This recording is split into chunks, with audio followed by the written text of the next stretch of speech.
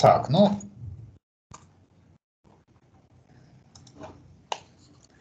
Смотрите, значит, пункт Г. Давайте я, может быть, не буду значит, переписывать, я вот так напишу. xn от t равняется минус единица в степени n на yn от t, где yn от t я нарисую.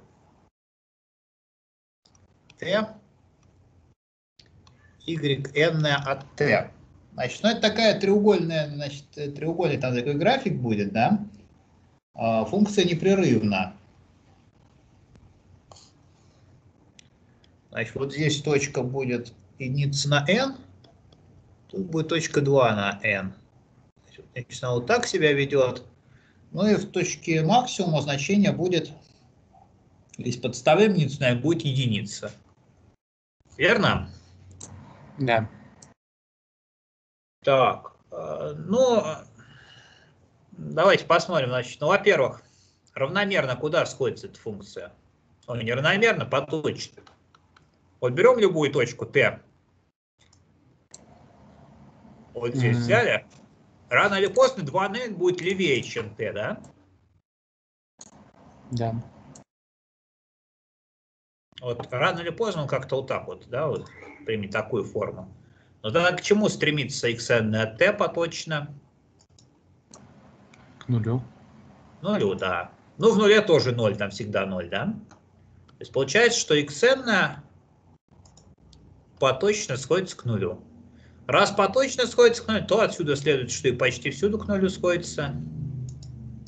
Э, и по мере сходится к нулю, да? Так, а будет ли сходимость равномерная к нулю? Ну, надо найти для этого супремум разности. Супремум xn от t минус 0. t от 0 до единицы. Чему равен этот супремум? Единица. Единица. Видим, что к нулю не сходится, значит равномерной сходимости нет. Понятно? Да, ну то есть, по сути, мы на минус единицу вообще не обращаем внимания, просто на... Ну как не обращаем? То есть, ну, так получилось, что она здесь особой роли не играет, да? То есть, видите, здесь же модуль, да, он как бы съел минус единицу. А тут получается, да, но здесь, видите, здесь надо учесть, конечно, что вот эта ступенька, она вот то вверх, то вниз. ну точнее, а, y вот так вот, а xn просто иногда он ее отображает относительно оси абсцисс, да? То есть график будет то такой, то вот такой вниз пойдет. Mm, да, точечная сходимость будет такая же, да?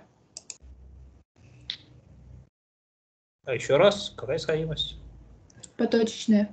А, ну да, поточная к нулю, конечно. Вот поточная к нулю, почти всюду к нулю, по мере к нулю. А равномерной сходимости нет.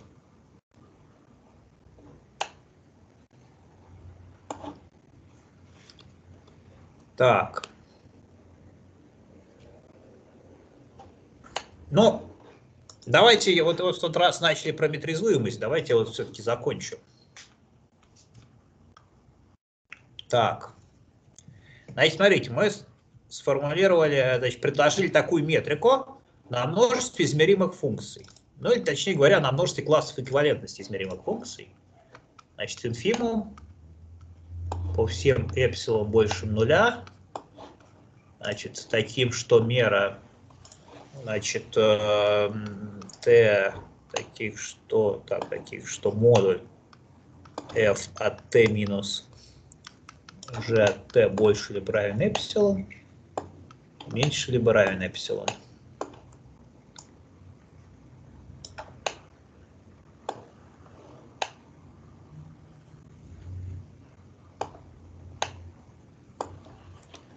Так. Вот. Значит, я утверждаю, что fn сходится по мере к f, тогда и только тогда, когда расстояние от fn до f стремится к нулю. Кто-нибудь пытался этим заняться дома-то? Этой задачей?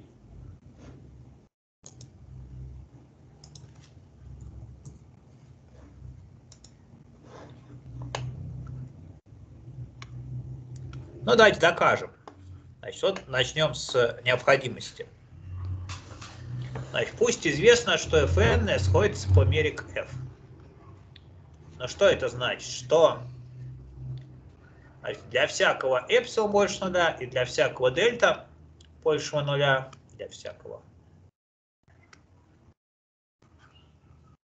найдется такой номер, что для любого n большего данного номера мера t таких, что f n от t минус f от t по модулю больше, значит, там, по строго больше было, да?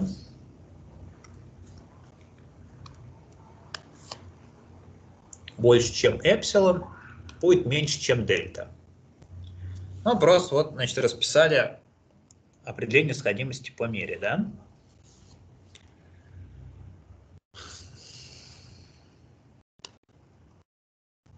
Значит, эпсилон и дельта у нас любые. Да, ну поэтому давайте возьмем дельта равная единице на k. Так. А эпсилон возьмем... Так, давайте сейчас подумаем, как взять эпсилон.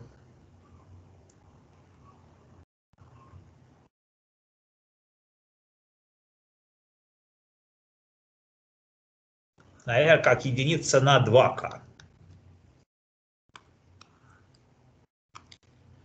Тогда что получается? Что существует n, ну, зависящий от значит, эм, от эпсилон, да, ну и от дельты, естественно, ну дельта, видите, с эпсилон связано, да, такое, что для любого n большего, чем n, э, мера t таких, что fn от t минус f от t больше, чем единица на 2k, будет меньше, чем единица на k. Но меньше, чем единица на k, значит меньше либо равняется, чем единица на k, да? С другой стороны, вот эта вот мера,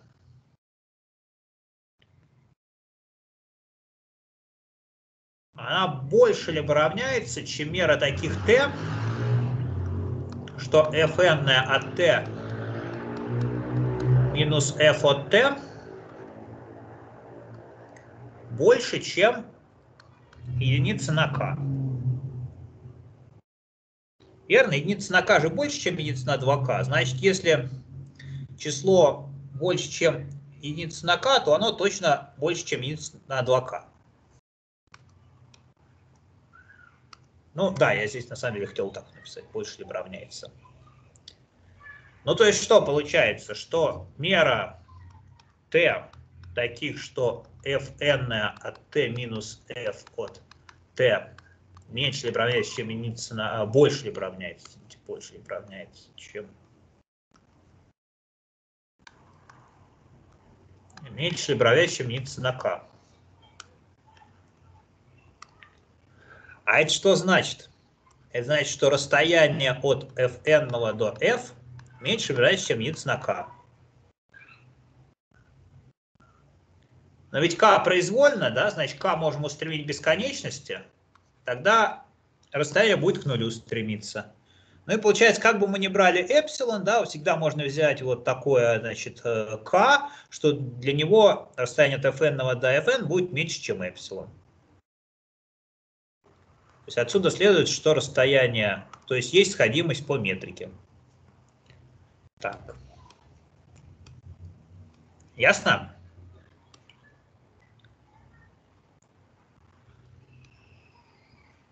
Какие вопросы?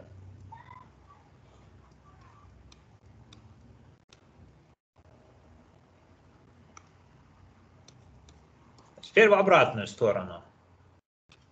Пусть мы знаем, что расстояние от fn до n стремится к нулю, то есть есть сходимость по метрике. Это значит, что для всякого эпсилон больше нуля существует n, такое, что для любого n большего, чем n, расстояние от fn до f будет меньше, чем эпсилон.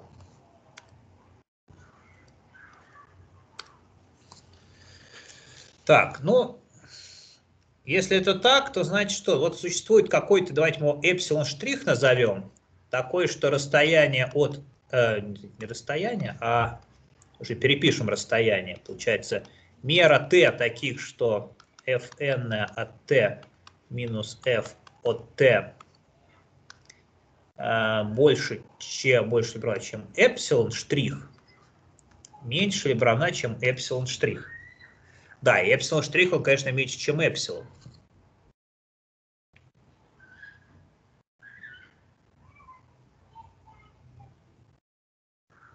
И отсюда, кстати, что получается? Что мера таких t, что fn от t минус f от t больше, чем эпсилон, меньше либо равняется, чем эпсилон тоже, да? Смотрите, мы здесь эпсилон увеличили, вероятность уменьшилась, да? Ну, не, ну, не вероятность, но мера. Вероятность тоже мера. Значит, мера уменьшилась. Так, а здесь тоже увеличили, вместо эпсилон штрих взяли эпсилон, мера тоже увеличилась. Ну, в правой части равенства увеличилась.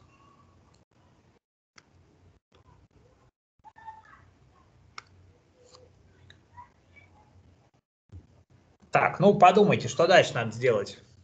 Как нам теперь доказать сходимость по мере?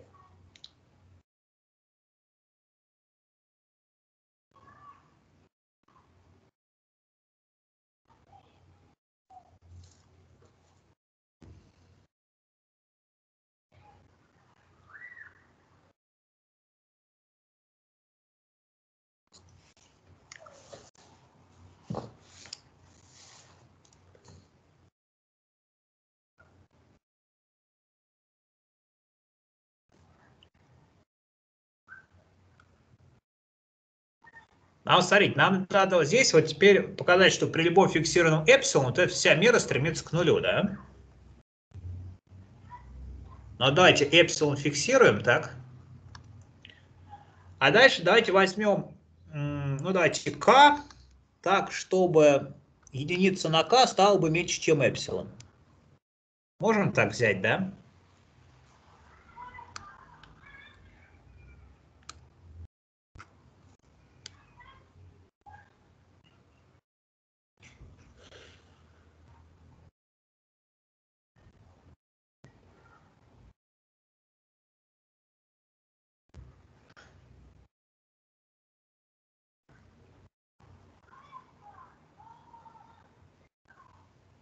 Так, ну тогда что получается? Мера таких t, что fn от t минус f от t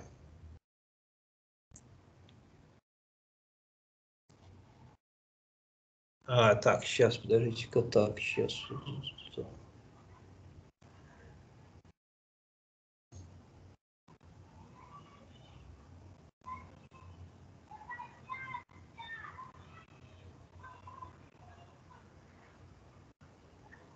А, ну да, больше, чем единица на k, будет меньше либо равняться, чем единица на k. Ну, начиная с некоторого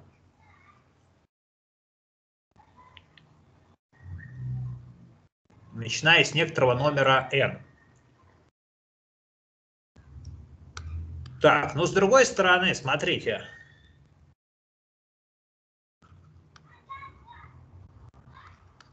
опять же, вот эта вот мера больше равняется, чем вот такая мера. Мера fn от t минус f от t больше, чем эпсилон. Поскольку единица на k меньше, чем эпсилон, то эта мера будет только меньше. Но значит, эта мера тоже меньше чем единица на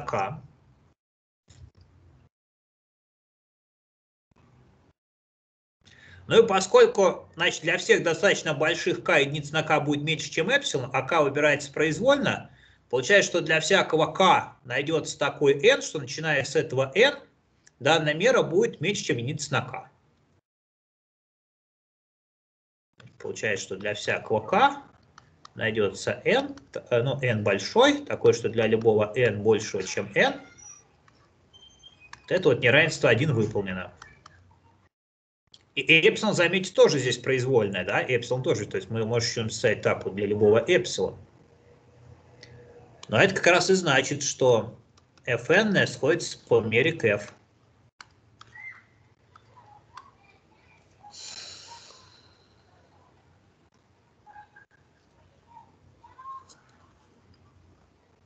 Видите, мы доказали, что сходимость по мере эквивалентна сходимости по такой вот введенной метрике. Значит, сходимость по мере является метризуемой.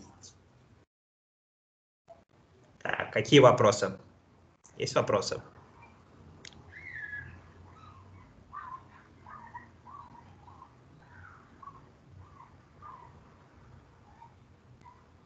Так, ну что, все молчат.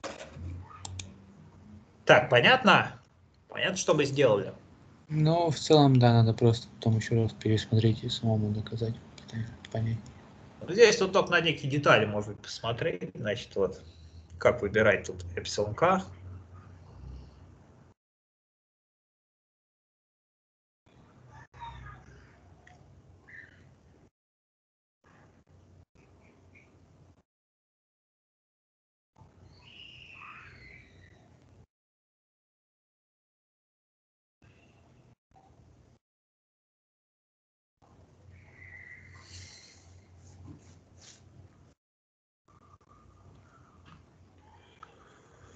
Так, ну давайте вот еще. Значит, э, а вот сходимость почти всюду не метризуема.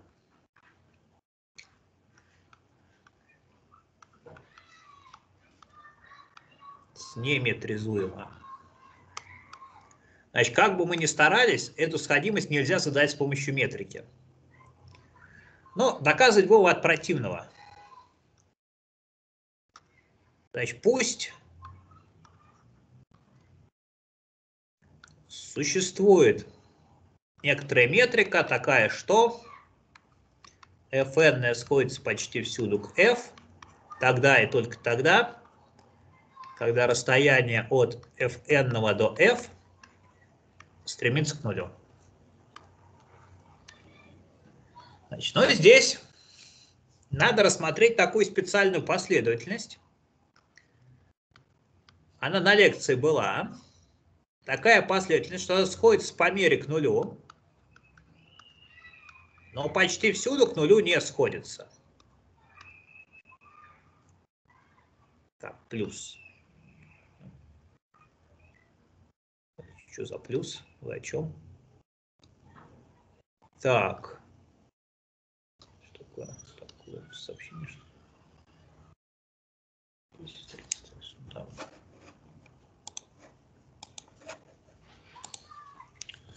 Вот. Значит, ну, как такую последовательность строить? Давайте я напомню. Она была на лекции, я еще раз ее приведу. Значит, смотрите, вот первую функцию возьмем такую. Вот здесь возьмем одну вторую, тут один. Вторую функцию возьмем такую. Одна, вторая, один.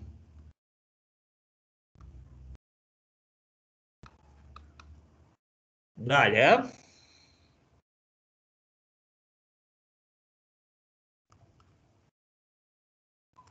Теперь на три части поделим.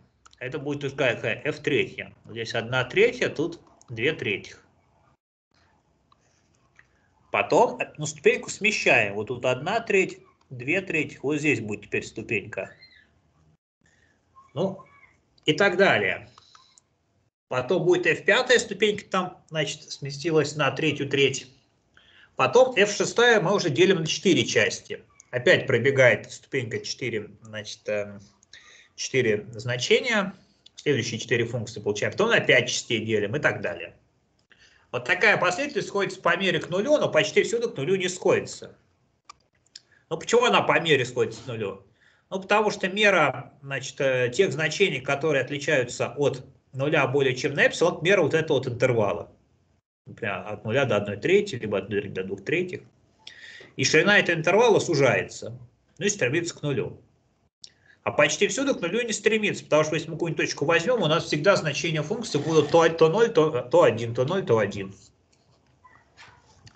Однако, вот на лекции это было доказано, что из всякой последовательности, сходящейся по мере, можно выбрать под, под последовательность, которая сходится почти всюду. То есть существует подпоследовательность, которая сходится почти всюду к нулю.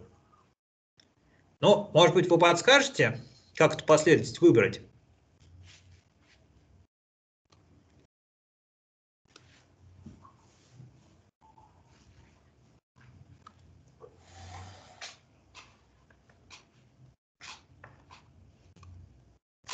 Так. Ну, какие будут предложения, как выбирать этот послед... подпоследовательность, который к нулю сходится почти всюду?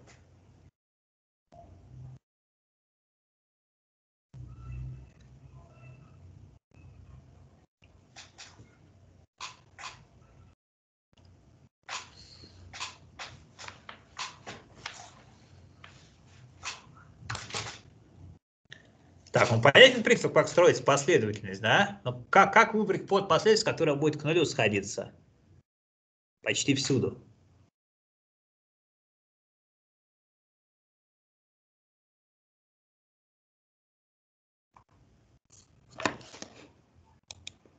Ну, кто, кто сообразит?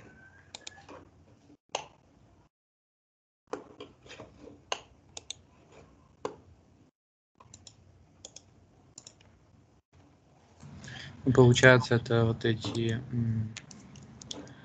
как обозначить, ну вот.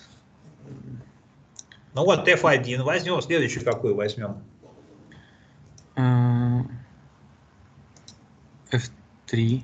F3, да, потом пропустим F4, F5, возьмем F6. То есть будем брать вот как, как бы первую, да, вот когда ступенька у нас да. слева. Ну и понятно, она почти всюду к нулю сходится. Ну, всюду за исключением точки 0, где к единице, да. Но мера нуля это 0, так что ничего страшного, что в одной точке не сходится. Значит, вот под последовательность можно выбрать. Отлично. Ну, смотрите. Так. А, значит, fn почти всюду к нулю не сходится. Если мы предположим, что сходимость почти всюду сдается с помощью метрики, то отсутствие сходимости к нулю запишется следующим образом.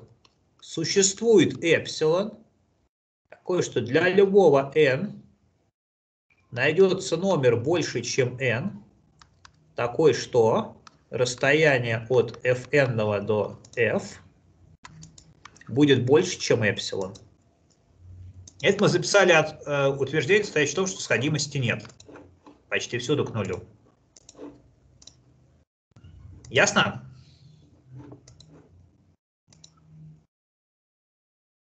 А теперь смотрите, теперь мы можем выбрать такую подпоследовательность fnk, для которой верно следующее.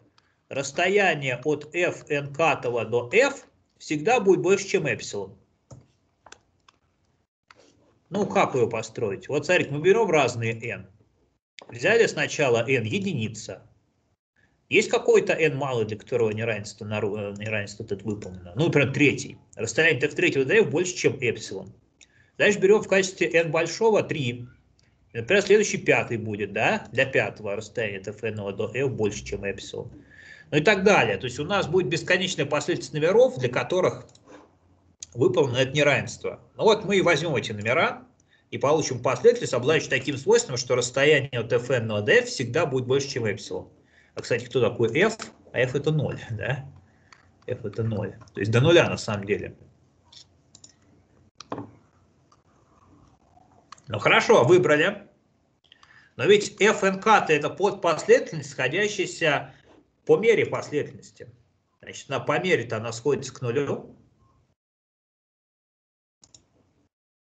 А раз она по мере сходится к нулю, то можно выбрать из нее еще одну подпоследствие, обозначу FMKLT, которая почти всюду сходится к нулю.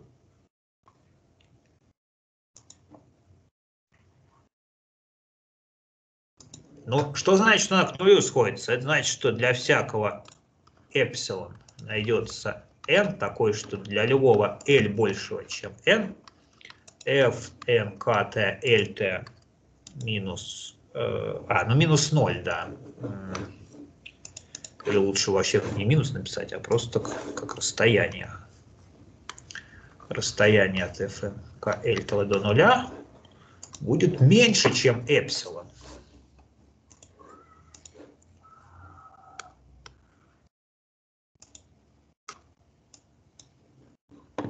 Ну, здесь вообще больше либо равно, но это не принципиально. А теперь смотрите. Но ведь мы в качестве вот этого эпсилон можем взять вот этот эпсилон. Но ведь для всех k выполнено это неравенство. А с другой стороны должно быть выполнено это неравенство для достаточно больших L. Получаем противоречие.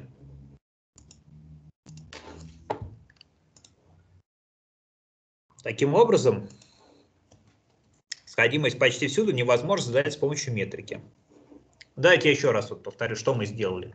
Мы взяли последовательность, которая сходится э, по мере, но не сходится почти всюду. Записали то, что она почти всюду не сходится. Тогда из нее можно выделить подпоследовательность, которая обладает этим свойством. Но ведь это подпоследовательность сходится по мере, значит, из нее можно выделить подпоследовательность, которая сходится почти всюду. Но если она почти всюду сходится, то расстояние от fnk L до нуля должно стремиться к нулю, а оно всегда больше, чем эпсилон. Противоречие. То есть вот можно даже нарисовать, вот взять здесь 0, так, и у нас есть вот последовательность fnk. Вот все члены этой последовательности отличаются от нуля более чем на эпсилон. Но с другой стороны, среди них есть подпоследствия, которые к нулю сходятся. Но это же невозможно. Если она сходится к нулю, то она должна приближаться к нулю. Она не приближается, она на неком расстоянии от него находится. Так, какие вопросы? Так, понятно это? Да. Значит, видите, вот, последовательность почти всюду невозможно задать с помощью метрики. Вообще никак.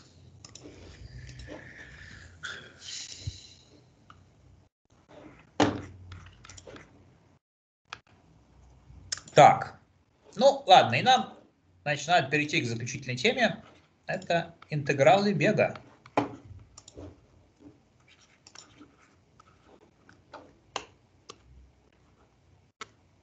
Давайте я немножко напомню, значит, что такое интеграл Лебега и вообще, чем он отличается от интеграла Римана.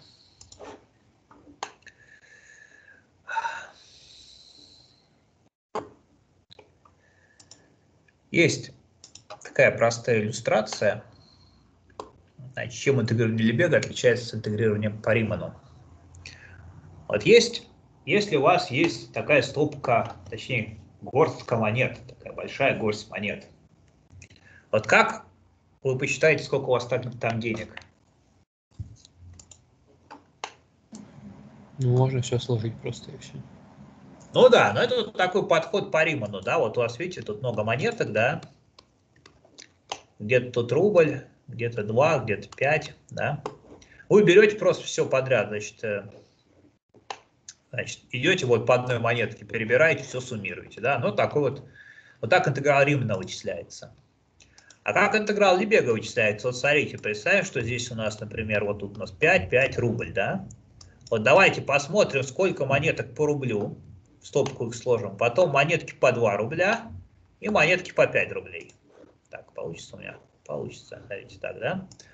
Ну вот, получаем вот здесь по рублю 3 штуки, да, потом, значит, там по 2 рубля 2, и там еще сколько-то там по 5 рублей, да. И теперь складываем. Это вот такой подход суммирования по Лебегу. То есть, значение, значит, мы точки группируем по принципу не близости самих точек, а по принципу близости значений э, функции. Вот. Ну, давайте, может быть, я, значит, перейду к, э, к, к определениям. Итак, вот первое, значит, что нам нужно знать, это простая функция.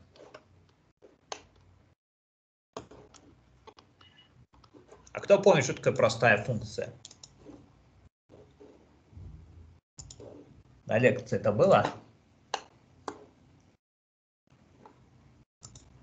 Это, кажется, измеримая функция, у которой конечное число значений. Конечная либо счетная. Да. Да, измеримая функция, если функция такого вида fn от x, ну, ой, зачем n, просто f от x. Вот такая вот сумма, вообще говоря, сумма ряда fn на i а n от x.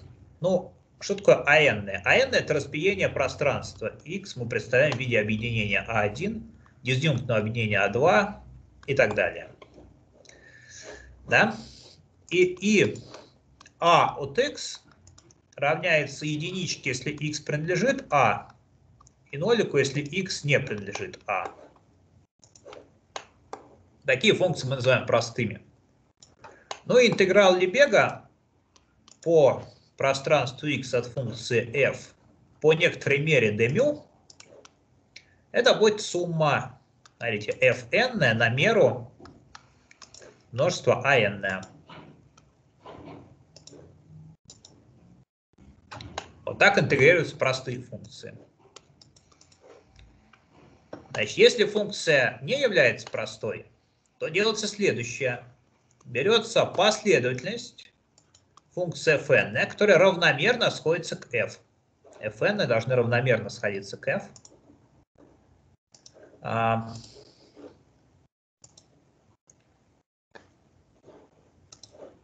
да, кстати, может, я не удачно написал. Тут fn, тут fn. Давайте я лучше не fn, а gn здесь напишу. Пусть gn сходится равномерно к f. И тогда интегралом по x от функции f по мере dμ мы называем предел при n стремящейся к бесконечности интеграла от gn по x dμ. Вот эти функции простые, мы их интегралы умеем вычислять, ну и вот получаем некую последовательность и находим ее предел. Ну и там на лекции вам доказывали, что выбор этой последовательности на величину интеграла не влияет. То есть можно любым способом вот аппроксимировать функцию f да, единственное, что gn должны быть простые функции. gn это простые функции, приближаем простыми функциями.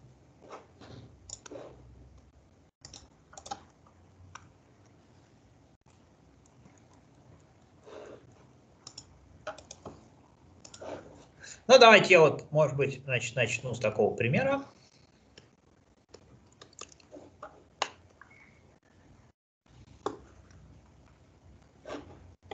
Вот пусть здесь будет точка 1, здесь точка 2. Давайте вот такую функцию возьмем 2. И тут 2. Здесь точки 1, 2 и 3. x. Так. Ну вот здесь давайте, например, вот эти выколем. Это пусть будет функция g. И найдем интеграл Лебега по отрезку от 0 до 3 от функции g от x dx. Вот когда мы пишем dx, мы имеем в виду меру Лебега.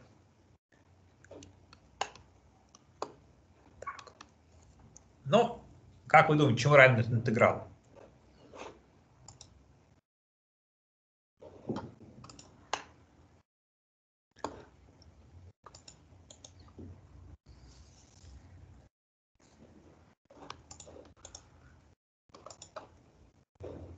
Значит, функция простая. Сколько значений принимает? Два. Сколько? Два. Два, ну да.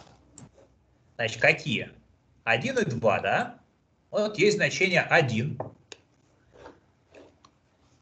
Надо умножить на меру, ну, в данном случае интервала от 1 до 2, да? Плюс, значит, второе значение 2 умножаем на меру чего? Значит, это объединение двух отрезков от 0 до 1 и от 2 до 3.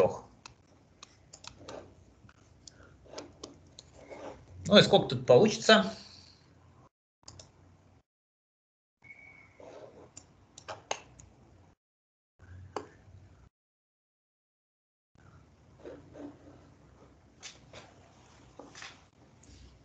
почему все это равно.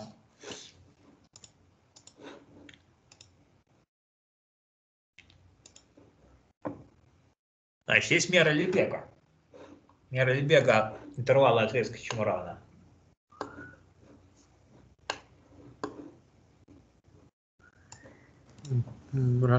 разности на концах.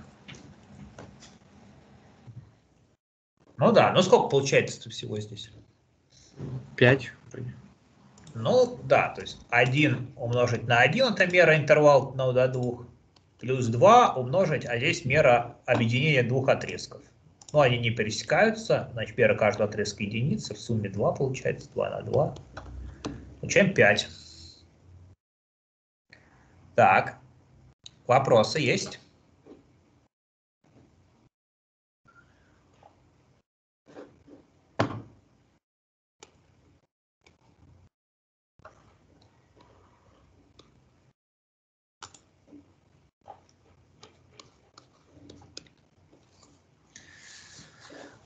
Ну вот следующий пример. Давайте мы с вами введем так называемую функцию Heaviside. He от x. Единичная ступенчатая функция она еще называется. Она равна единице, если x больше нуля, и нулю, если x меньше либо равен нуля.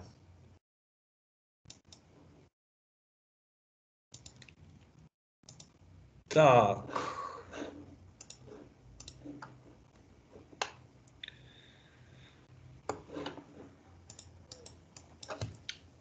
Вот. Эм, ну, иногда еще, кстати, вот так ее обозначать. Я помню, кстати, использовать такое обозначение. Такая вот единичка красивенькая. Это единица. Вот. Так, ну, давайте я вот попробую некий интеграл записать. Скажем, интеграл вот такой возьмем. От 0 до 10. Здесь пусть будет хи от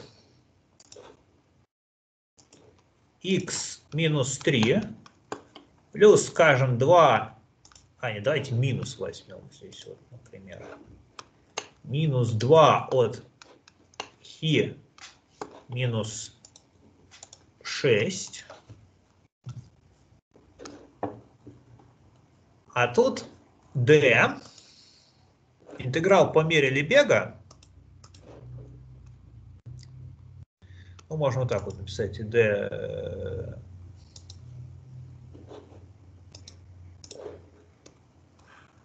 df, где функция f имеет такой вид. Ну, например, смотрите, 2 хи x минус 3 плюс хи x минус 5.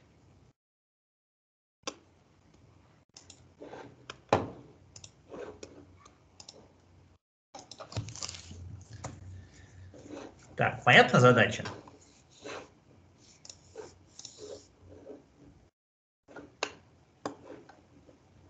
Ну, так.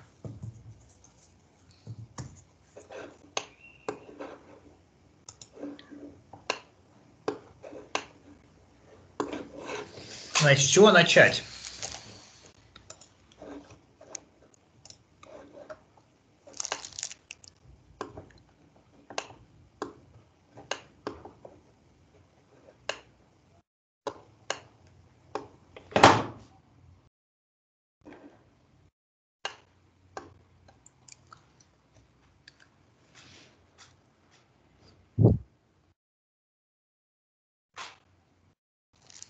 Так, ну есть желающие попробовать? Все как-то молчат, сидят. Какие предложения-то будут? Видите, функция простая. Какие она значения принимает?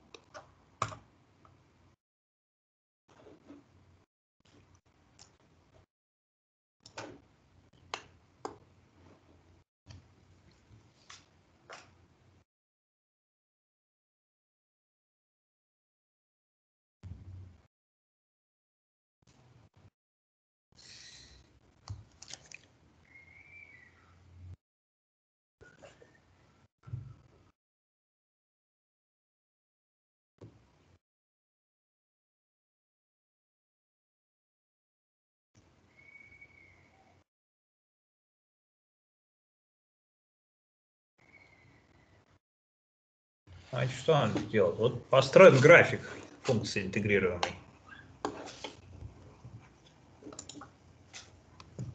x, давайте вот g от x я обозначу функцию, которую мы интегрируем. Так, ну какие значения-то эта функция принимает, а?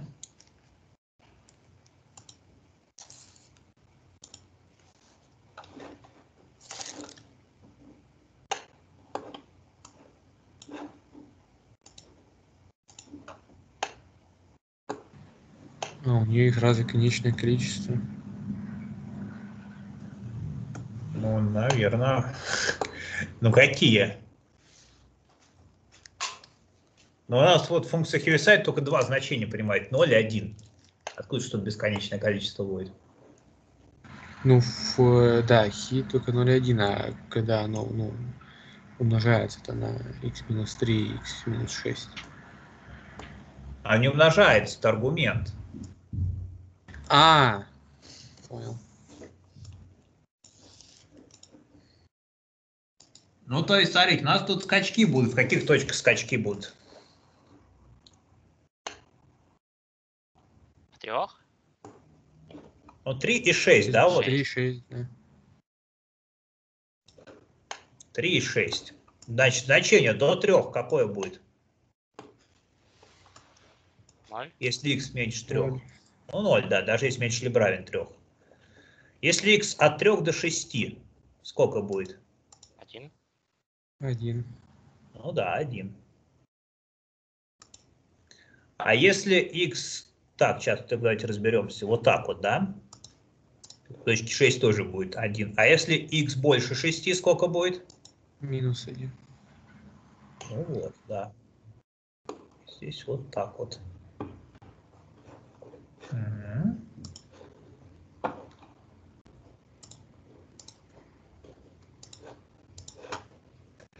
Давайте еще рядышком нарисую функцию f. Ну пусть будет, да?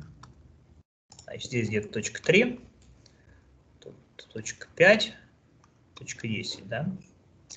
Значит, вот получается, него будет значение 2 и 3, да? 2. Так, и 3. А, не, не, значит, неправильно рисую. Сначала будет 0, потом будет 2. Вот здесь будет 2, да? 1 и 3. Так, причем у нас получается вот так вот, да.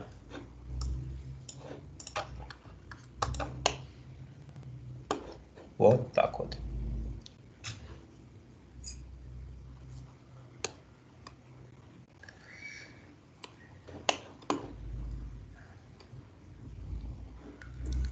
Ну, давайте вспомним, как мера устроена. Вот мю, мю f от полуинтервала от А до Б. Кто помнит?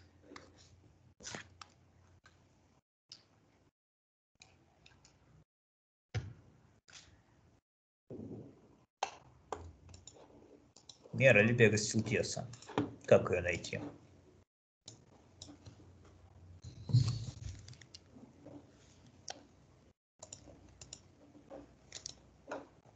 Ну, э, значение в пятерке минус значение в нуле. Ну, f от b минус f от a, да? Почему пятерки? А, ну да. Вот что нам еще пригодится. А Если у нас вот такой полуинтервал, то, то что будет?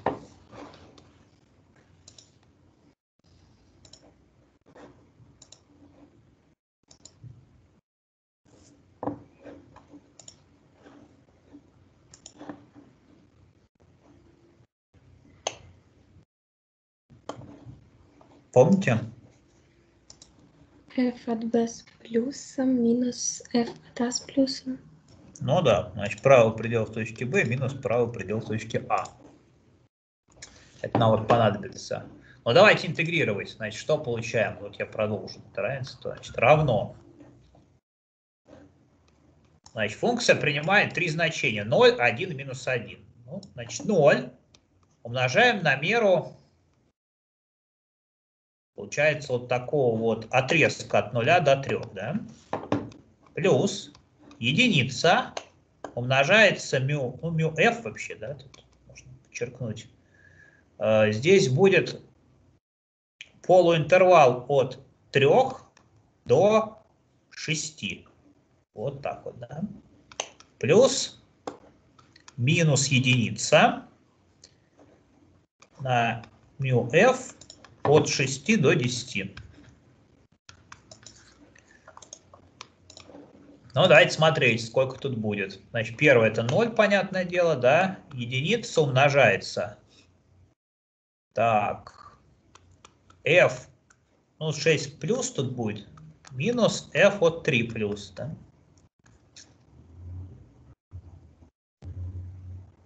Минус единица. А тут будет f от 10 плюс минус f от 6 плюс. Равно. Так, ну и чему все это равно? Единицу на сколько умножаем?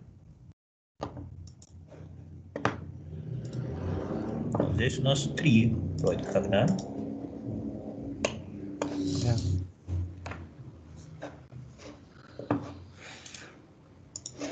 то есть э, на единицу умножаем. Так, на единицу, да? Ну да, значит, получаем 3 минус 2. Вот, правый, значит, смотрите, значение точки 3, 0, но правый предел-то у нас 2 равен. Минус 1, а в 10 тоже будет а, тут 0 что получается, да. Тут будет 3 минус 3. Ну и все это равно единице, да? Так. Так, так все ли понятно? Какие вопросы?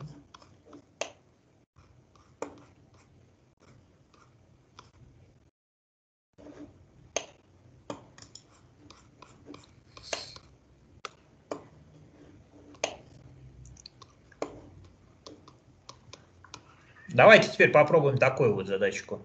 Значит, э, ну пусть будет хи от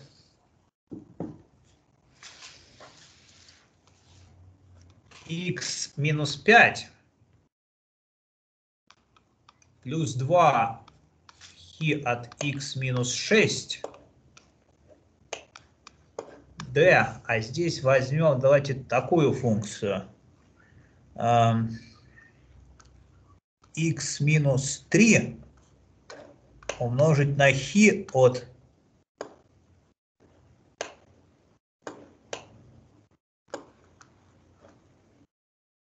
x минус 5. Ну, давайте уже кто-нибудь из вас попробует решить.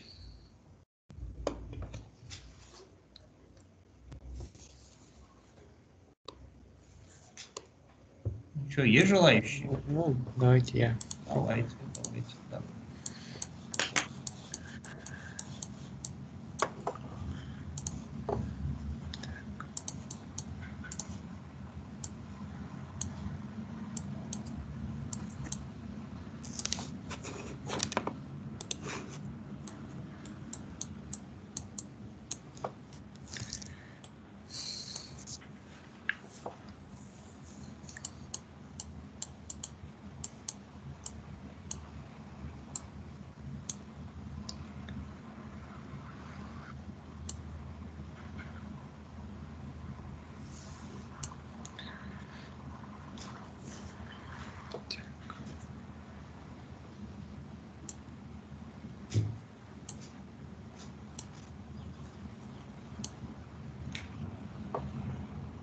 Так, ну хорошо.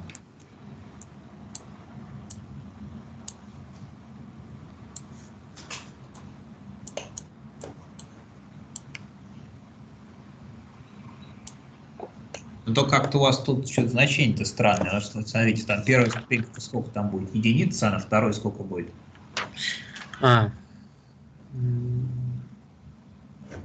А, тут плюс, да. М. Щас.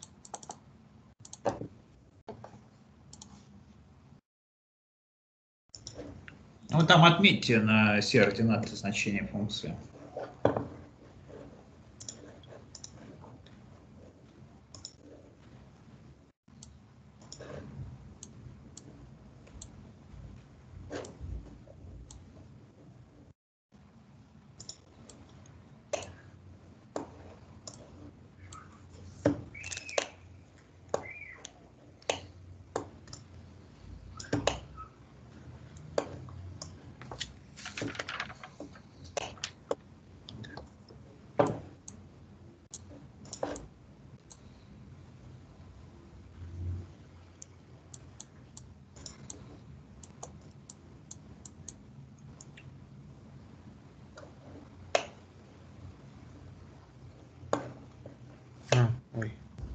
Слитает.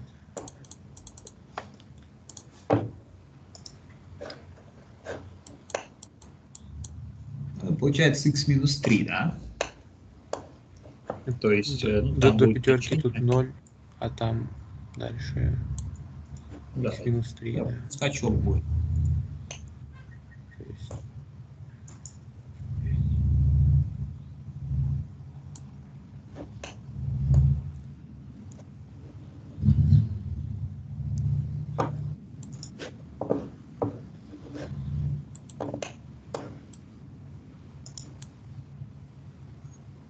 Так, давайте только отметим, где у нас там разрыв.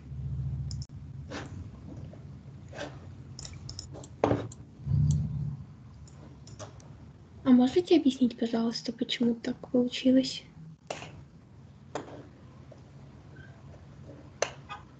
Ну, почему у вас так получилось?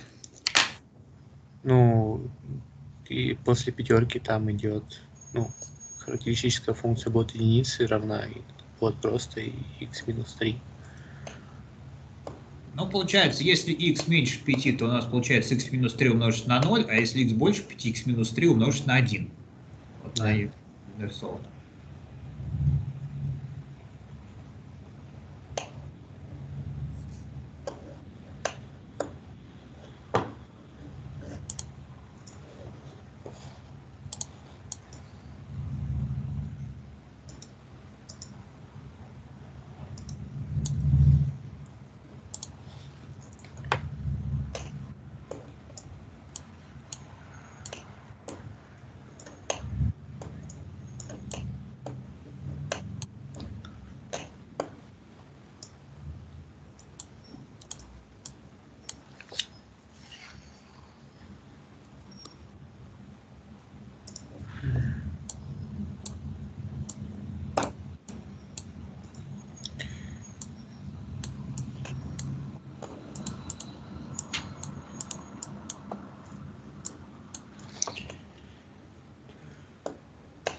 А, ой, нет.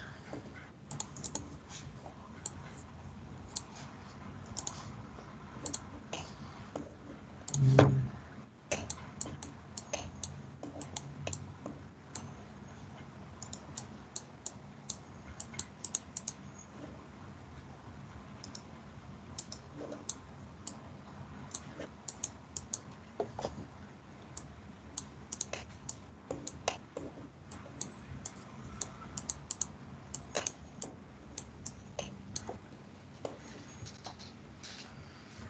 Мгм. Так.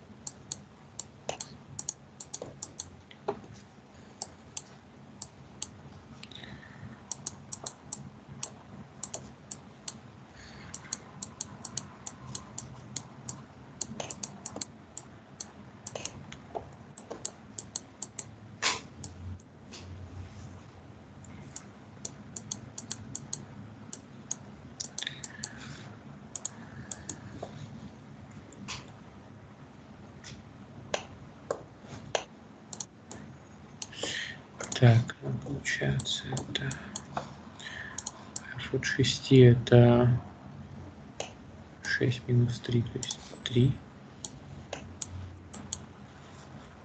Минус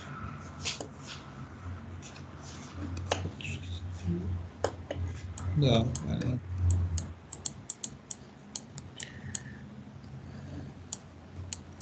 Видите, здесь правый предел, поэтому 2 берем. Воля 2. Значение в точке 5 это правый предел.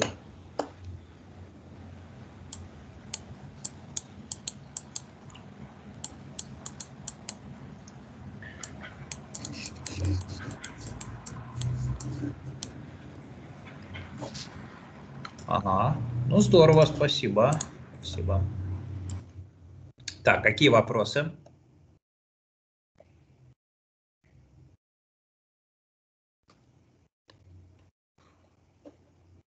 Все понятно. Давайте что, посмотрим, что делать, если функция не является простой. Ну вот, например, а, хотим вычислить интеграл от x квадрата, а здесь возьмем, давайте какую-нибудь функцию, значит, что-нибудь типа хи квадрат, э, значит, x плюс хи от x минус 3. Ну, может даже вот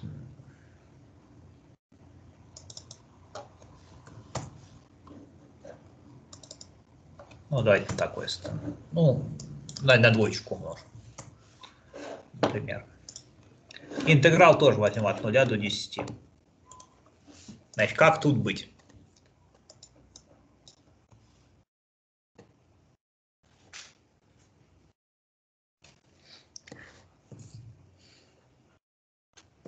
Смотрите, во-первых, нетрудно проверить, ну, что вот эту вот значит, меру, порождаемую суммой двух функций, можно представить в виде суммы двух интегралов. dx плюс x квадрат d, тут будет 2 хи от x минус 3. Значит, равно. Смотрите, вот этот первый интеграл, это интеграл по мере Лебега, значит, интеграл Лебега по мере Лебега. Но это вот пока у вас еще на лекции не было, но, наверное, расскажут на следующей лекции, что если существует интеграл Римана, то он совпадает с интегралом Лебега по мере Лебега. Но а интеграл x квадрат, конечно, существует. И чему он равен? X куб на 3. x куб на 3, да, получается от 10 до 0. А как быть со вторым интегралом? Смотрите, у нас вот мера такая специфическая. Э, у нас только одна точка имеет не нулевую меру. Какая это точка?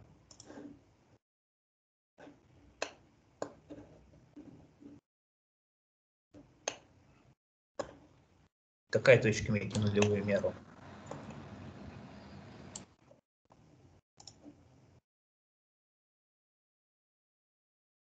Имеет или не имеет? Имеет, не нулевую меру. Но у нас мера вообще всего равна нулю, за исключением одной точки. Какой?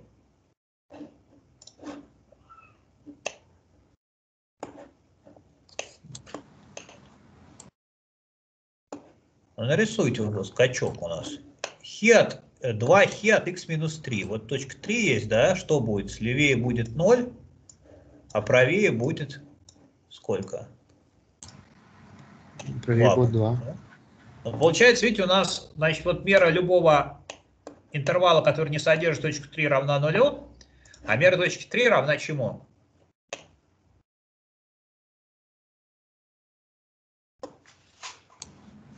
Двум. Ну, двум, вот этой величине скачка, да? Значит, что получается? Вот точка 3 имеет не нулевую меру, получаем 3 в квадрате и умножаем на 2. 2 это мера точки 3. Это вот мера точки 3. Значит, что получается? 1000 делить на 3 плюс, эм, так, 9 на 2, 18. Ну, я уж не буду считать. Значит, вот такой ответ. Так. Какие вопросы?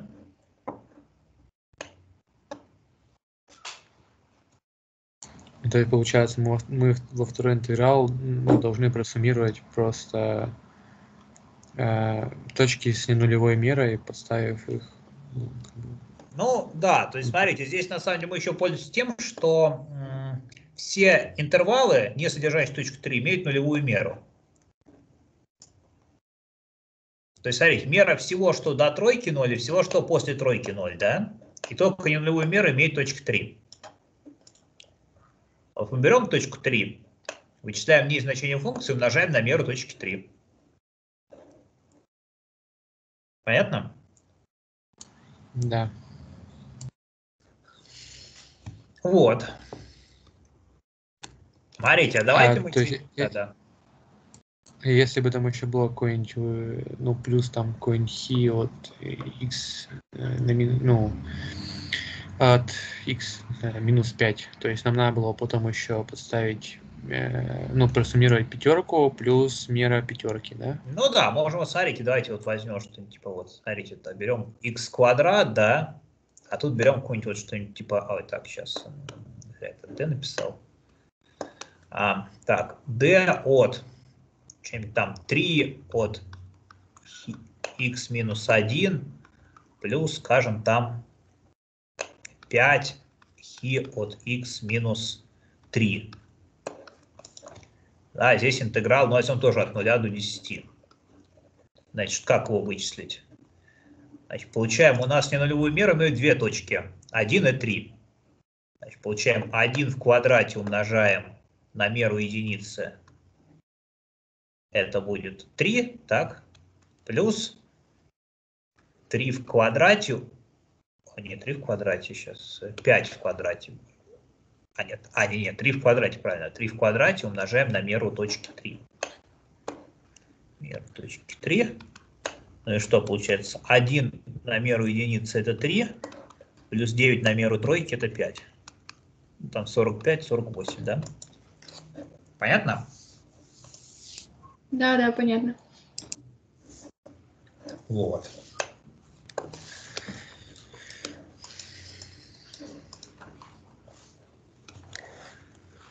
Кстати, давайте я вот еще на что обращу внимание. Вот как вы думаете, как такой интеграл вычислять от 0 до 10? x квадрат d x квадрат.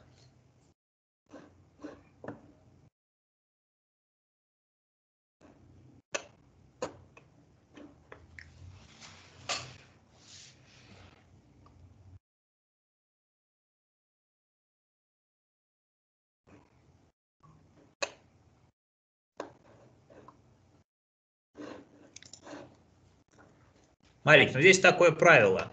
Значит, смотрите, если существует производная функция f, то интеграл от g от x df от x, ну вот то, что мы от анализе учили практически, да, там, э, значит, э, правило занесения под дифференциал, да, по, ну, по некому множеству а, например, да, есть интеграл по а от g от x f штрих от x dx. Ну, эту формулу можно проверить. Смотрите, если у нас g простая функция, то она не- непосредственно проверяется. Значит, для простых функций легко проверить. А если э, g непростая функция, то надо ее приблизить простыми. Вот, и там, значит, показать, что этот интервал, интеграл тоже будет существовать. Ну вот, используя это правило, что у нас здесь получается?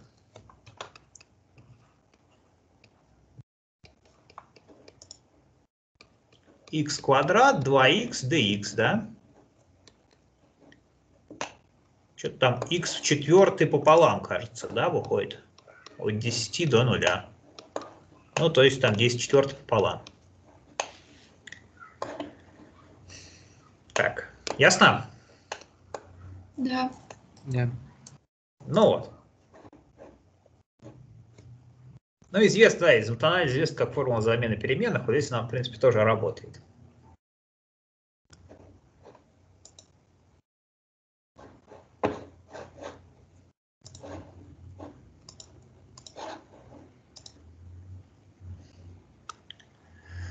Так, давайте теперь вот. Что сделаем? Давайте интеграл от нуля до единицы возьмем. А, не, знаете, единиц не хочется, чтобы там дробей было поменьше. Я вот здесь хочу поменять. Смотрите, я вместо x квадрат возьму э, функцию Дирихле от x, а тут, ну, например, то же самое. 3 хи от x минус 1 плюс 5 на хи от x минус 3. Функция Дирихле, но напомню, это единичка, если x рациональная, и нолик, если x иррациональная.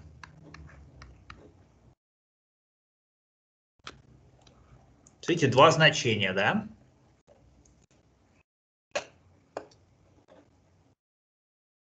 Значит, что здесь получится?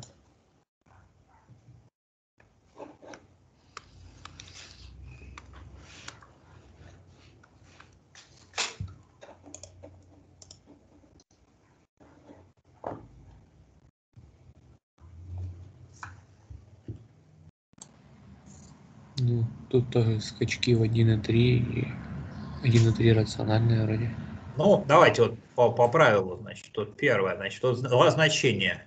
0 умножаем на μf, значит, меру, э, ну тут не r без q, а получается отрезок от 0 до 10 без рациональных чисел, да? Плюс, так, единицу умножаем на μf от рациональных чисел в отрезке от 0 до 10. То есть мы пересекаем отрезок 0,10 с рациональными числами. Ну, а какие рациональные числа имеют не нулевую меру? 1 и 3. Ну да, то есть получаем 1 умножить на... Ну, тут будет мера f от троечки плюс μf от единицы. Так, ну и чему это все равно?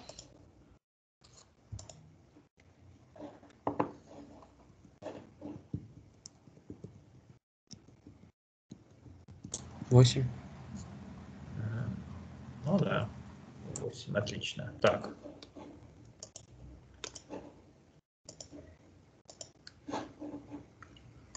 Давайте попробую вот так вот такую задачу рассмотреть. Интеграл от 0 до 10.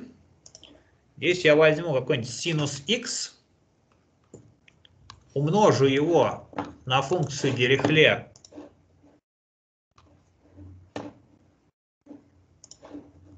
от x квадрата, а тут возьму какую-нибудь такую функцию. x квадрат плюс 3 на хи от x минус единица плюс 5 на хи от x минус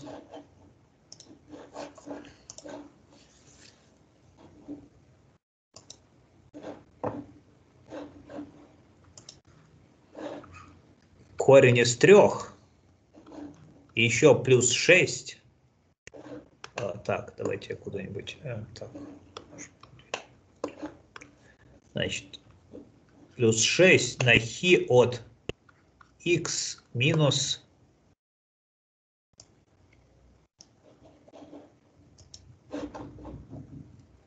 А здесь давайте возьмем какой-нибудь пи.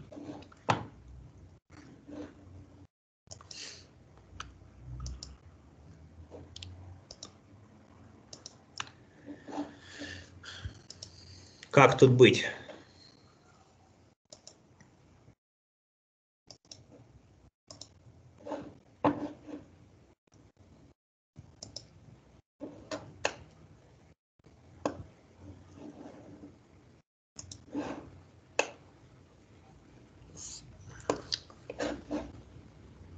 Смотрите. Я утверждаю, что эта функция простая. Синус x на функцию Дирихле от x квадрат. Значит, чему это равняется? Это равняется синус x, если x квадрат является рациональным. И это равняется нулю, если x квадрат не является рациональным.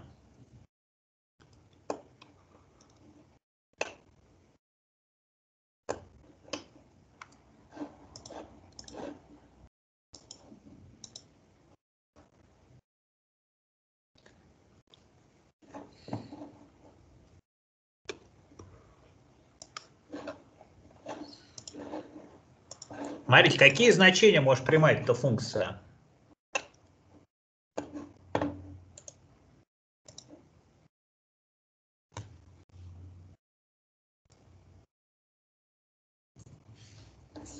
Но здесь можно, смотрите, сделать замену переменных. Вот если мы x квадрат обозначим через r, то тут будет что? Корень из r, верно?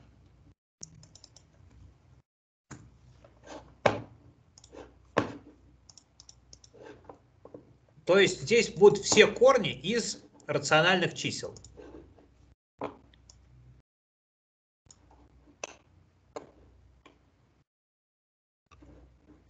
То есть получается это равно чему? Сумма. Здесь возьмем сумму всех рациональных чисел, да? Ну, в отрезке от 0 до 10. Здесь будет синус. Так, ну здесь вот, смотрите, здесь надо вот так написать. Корень из, корня из r, да? на меру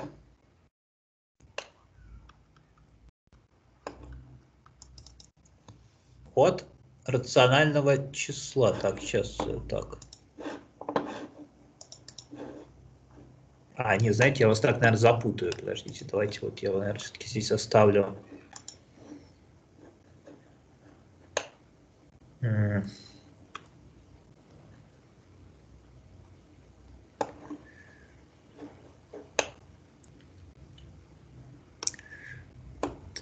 Я перепишу.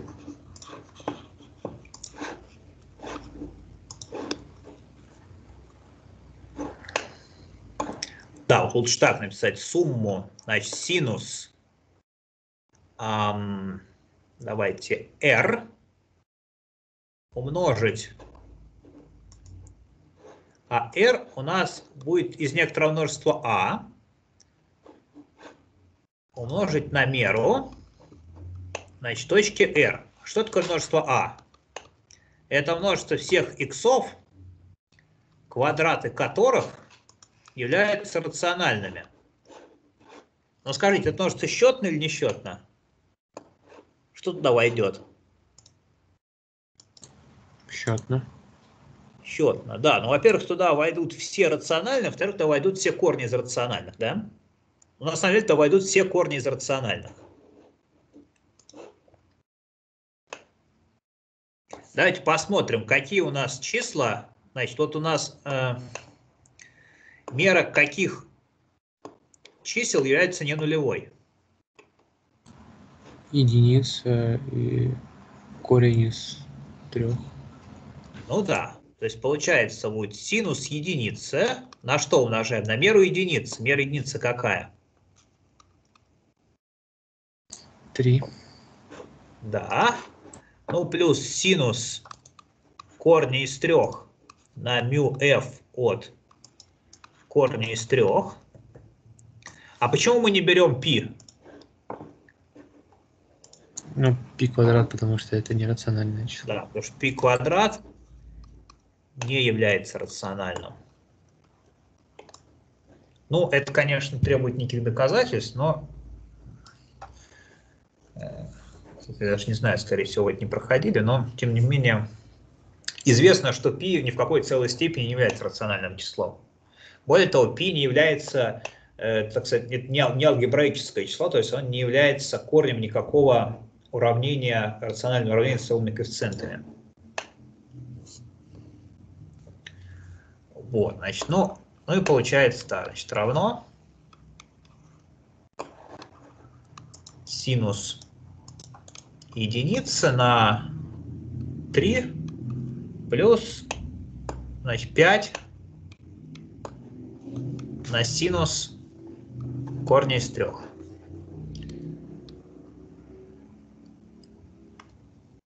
Давайте теперь я вот, значит, немножко видоизменю этот пример и спрошу вас, что получится. Значит, возьмем интеграл от 0 до 10, синус x, а здесь я не буду dx, возьму просто d от x. А здесь все перепишу. x квадрат плюс 3 на хи x минус 1 плюс 5 на хи от x минус корень из 3 там, плюс 6 на хи от x минус π. Значит, что здесь, э, чему будет этот интеграл равен? Чем он будет от первого отличаться? Ну, здесь э, не квадрат, ну, не, не чис, ну, э, пропадет, получается, корень из трех. Ну да. То есть, видите, снова получается сумма. Здесь уже будет сумма по всем r из э, q в пересечении с отрезком от 0 до 10. А, кстати, знаете, что надо уточнить? q в пересечении с отрезком от 0 до 10, да, вот здесь выше. Так, здесь будет синус r на μ f от r. Ну, а из рациональных точек у нас только точка 1 имеет не нулевую меру. Получаем 3 на синус единицы. Так, ясно? Какие есть вопросы? Да, вот э, получается э, в предыдущих примерах, то есть у нас до точек этого скачка у нас э, ну, функция под дифференциалом, она была равна нулю. Но тут она ведь не 0 до единицы, то есть там x квадрат же есть. А, ну это не страшно, у нас же мера точки равна величине скачка, да? Так. Здесь смотрите, что, ну, вы, наверное, спрашиваете, а почему пропал x квадрат, да? Да, почему мы не считаем точки вот до, до x квадрата? А видите, нет, точки до x квадрата... Ну, но, но, но не до x квадрата, а вот эти вот до единицы, которые столько... А видите, у нас функция оказывается простой, да? А, еще есть, вот, кстати, знаете, что мы еще не учли? Ну, не то, что не учли, еще плюс 0, да, вот есть значение функции 0, вот он, ну, где-то было написано. Вот он. Вообще 0 надо еще умножить на меру а, иррациональных чисел, да, то есть 0, 1 без q. И вот этот самый x квадрат, он вот здесь вот вылезет, да, то есть от 0 за 0 умножать, так что ничего страшного.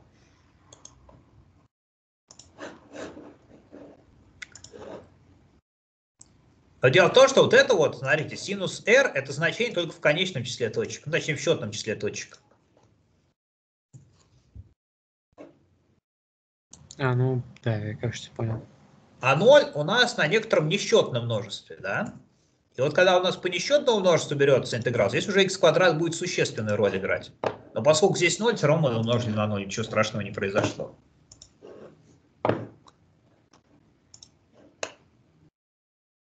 Мы можем, кстати говоря, знаете, вот смотрите, а... вот давайте, да, кстати, вот, может быть, напишу. Смотрите, интеграл от 0 до 10 синус x. А вот здесь я могу попробовать написать dx минус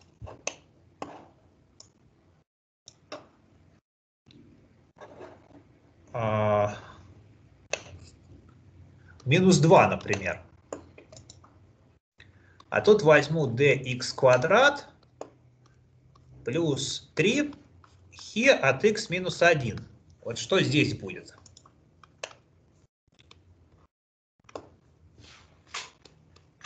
Смотрите, по аналогии, да?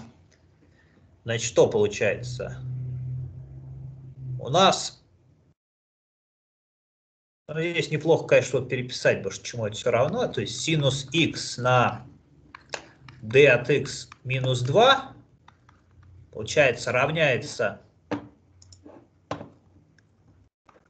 синусу минус синусу x минус синусу x, когда x рационально, да?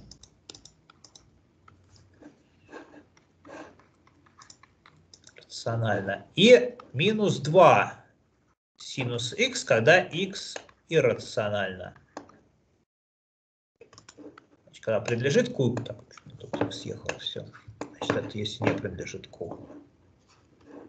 А здесь принадлежит q.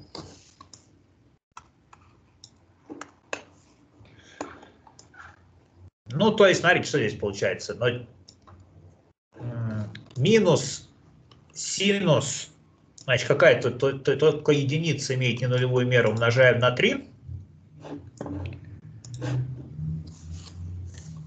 Так, а второй интеграл у нас будет такой. Э, минус интеграл от 0 до 10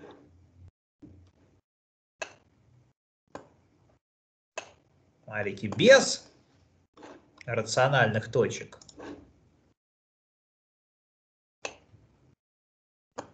от синус x, да, и двойка тут еще есть, минус 2 синус x, на dx квадрат.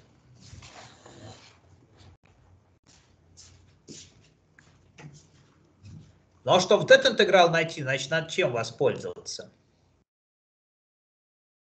Смотрите, интеграл от синус x от 0 до 10, вот по свойствам аддитивности интеграла dx квадрат, можно представить в виде суммы двух интегралов. Интеграл по рациональным числам в отрезке от 0 до 10 dx квадрат плюс интеграл по иррациональным без q. Но смотрите, вот это 0 будет, опять в силу тех же соображений, да? Значит, получается, что вот этот интеграл равен вот этому интегралу. Ну и что выходит? Минус 3 синус единицы – Тут минус 2. Здесь можем спокойно писать интеграл от 0 до 10. Синус x еще и на 2x dx. Но это уже вычисляйте, как вас на, на, на матанализе учили вычислять такие интегралы. По частям там берете и вычисляете. Так, ну вот, надеюсь, я тут немножко пояснил. Так, какие вопросы? Так, все ли понятно?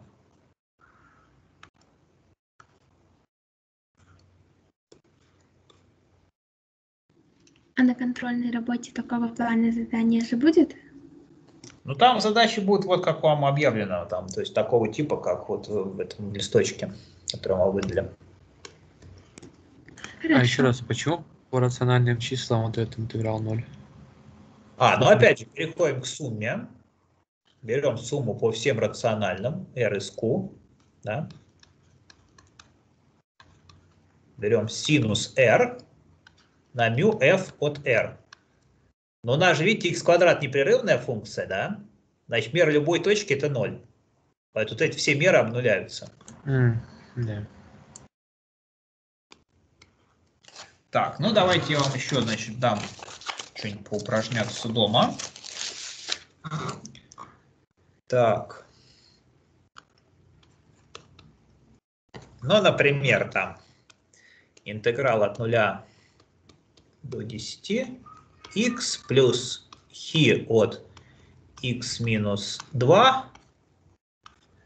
Так, а здесь возьмем что-нибудь типа d от x умножить на хи от x минус 3, например.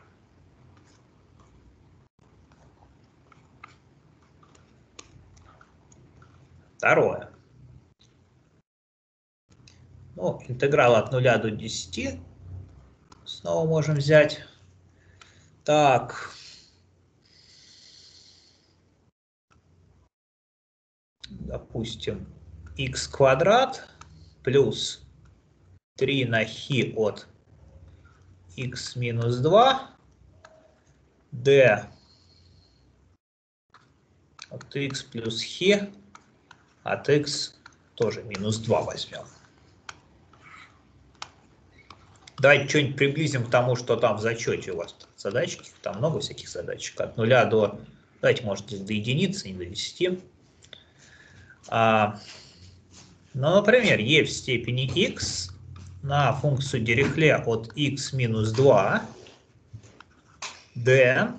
Тут возьмем хи квадрат на хи от x минус 2 плюс хи Ой, тут, смотрите, одну вторую давайте возьмем. Хи от единицы минус 1 третья. Вот так вот.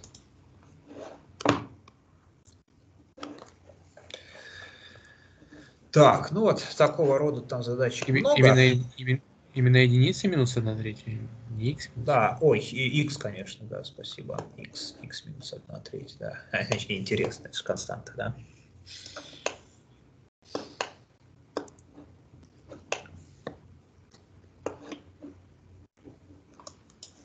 Ну, кстати, можете попробовать, а что будет, если нет вот этой вот, значит, эм, функции Дирихле. На самом деле функция Дирихле здесь вам даже помогает.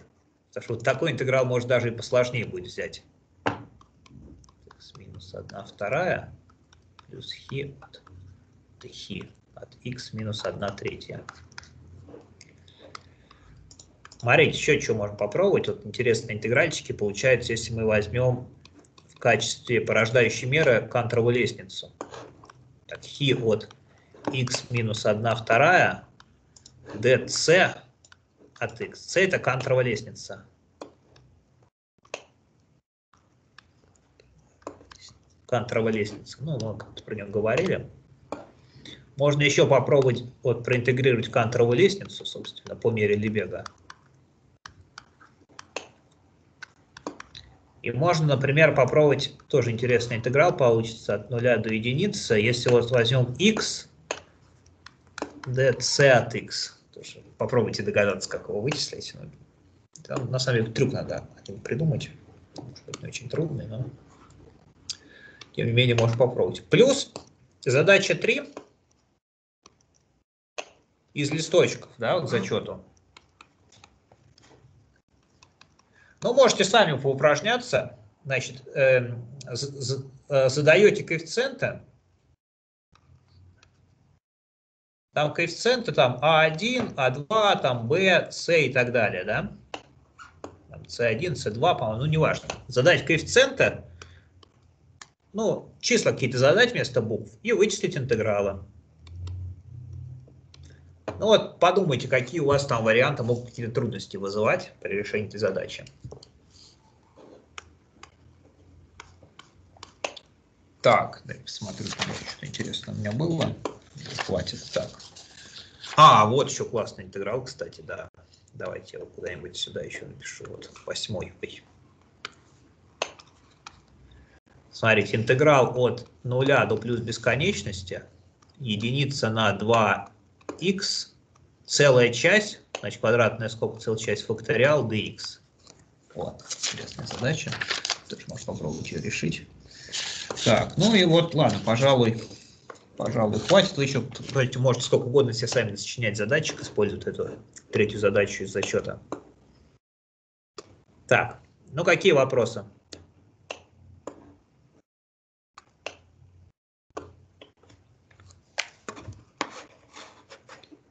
Так, нет вопросов? Пока что больше нет. Ага. Ну, прекрасно.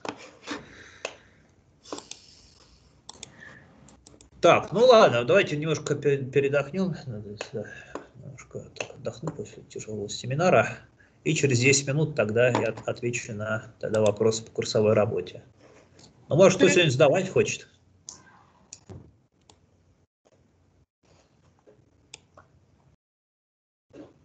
Так, ну ладно, давайте пока выхожу, через 10 минут тогда подключусь. Так. До свидания.